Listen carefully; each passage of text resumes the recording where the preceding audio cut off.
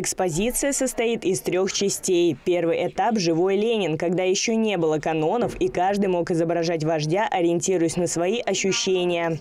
Второй раздел выставки – превращение изображения Ленина в знак, схему, пиктограмму. И последний этап – деканонизация.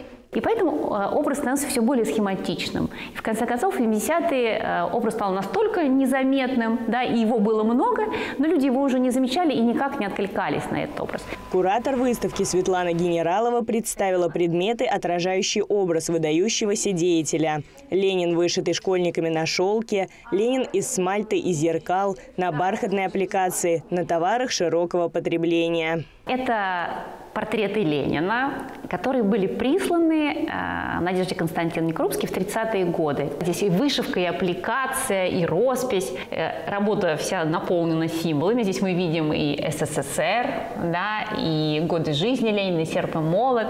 Особенно необычным выглядят изображения вождя мирового пролетариата на коврах ручной работы, которые делали по всему миру очень неожиданным и интересным является такая коллекция ковров с изображением Ленина.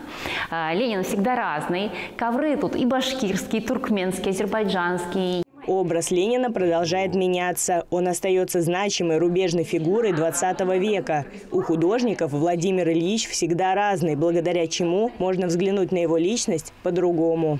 Человек живет в обществе, в котором очень много Ленина, да? Э, и у него есть какое-то свое мнение. И в результате образ вождя становится таким живым, пластичным, он меняется в соответствии с исторической реальностью.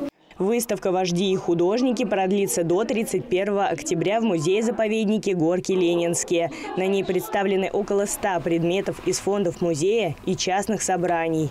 Инга Янчук, Алексей Астафуров, Ольга Садовская. Видное ТВ.